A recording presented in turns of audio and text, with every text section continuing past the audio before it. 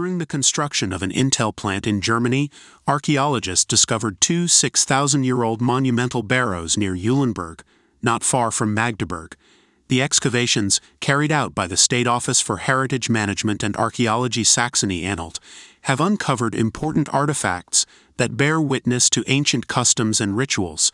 These discovered barrows, dating back to the late Neolithic period, featured wooden burial chambers with multiple burials, offering a unique glimpse into the burial practices of the era.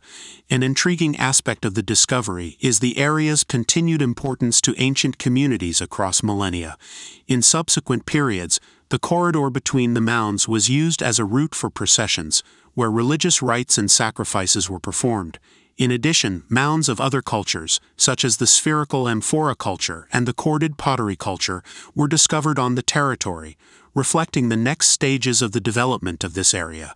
These findings provide invaluable insights into the lives and traditions of ancient societies. With Intel's upcoming construction of semiconductor manufacturing facilities, efforts to preserve and document the site's archaeological heritage remain a priority the State Administration for the Protection of Monuments and Archaeology plans to complete the excavation by the end of April to prepare the ground for construction, but to preserve the historical heritage value of the site. So that was all for today's video. Let us know what you think about it in the comments section and subscribe to our channel so you don't miss out on our latest uploads. With that said, we will see you next time. Until then, take care.